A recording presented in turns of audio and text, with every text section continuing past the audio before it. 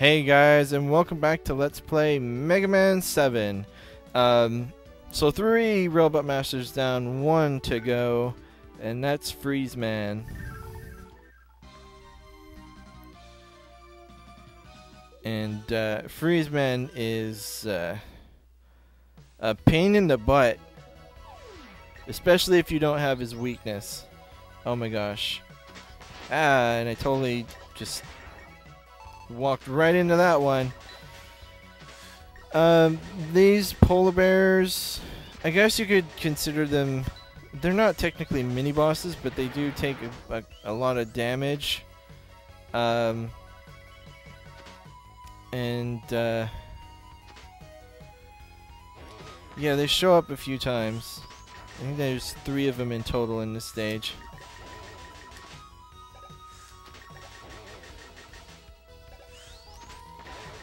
But they're all pretty easy to deal with. Oh crap, the third one. Wow, really? The third one adds uh, is a little tougher than the first two, so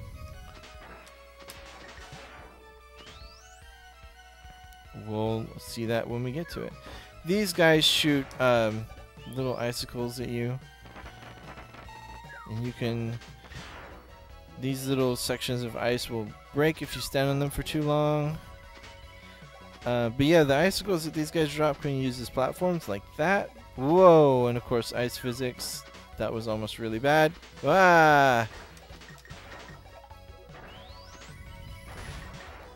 Okay, and coming up, we want to switch to the rush coil, so we can hop up here. And as you can see, there's the letter H. Whoops. Oh crap. Well, this could be bad. No! Gosh darn it.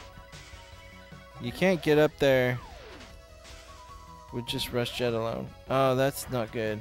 And I don't think those respawn. No, they do not. Welp. I guess we'll be coming back here another time. That's not good.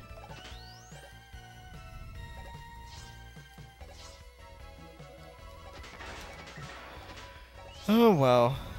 That's not a devastating loss. Ah, but here I do want to get on. oh my goodness, really? I'm having the worst luck with jumps today. It doesn't help that with the the different graphics and hitboxes that it looks like you're gonna be able to make a, a jump and you would normally make that jump if this were regular classic series Mega Man game, but yeah, see, that's what happens if Rush gets hit before. Dang it! I hate those things. Stop it. Okay, gosh, I hate those things. The only reason I do that is because that jump is freaking hard without using Rush.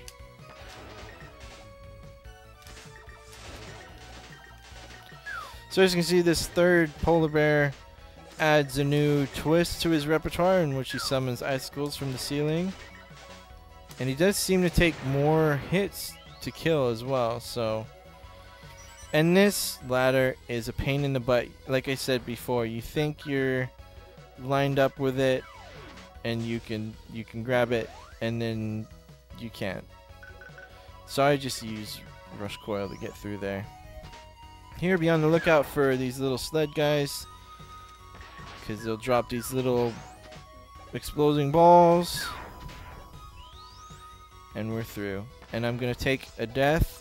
Because I've got like no health left. For Freeze Man. And I want all the health I can get for this fight. Because he's a pain in the butt. And of course he like I don't understand why he like froze himself in a block of ice. Like I, I just I just don't get it. Like why would you do that to yourself? That doesn't make any sense. But whatever, freeze man.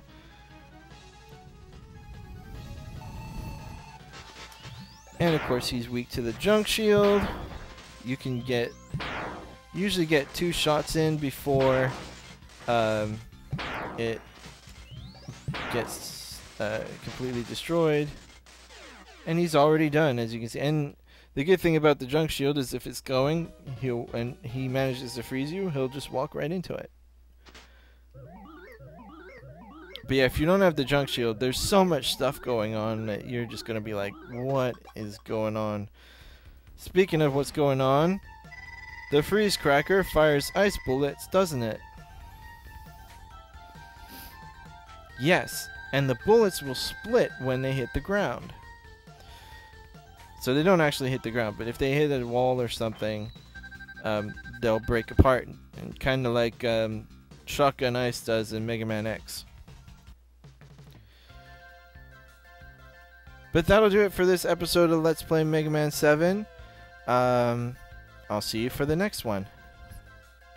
Oh, wait, no I won't, because there's more to talk about.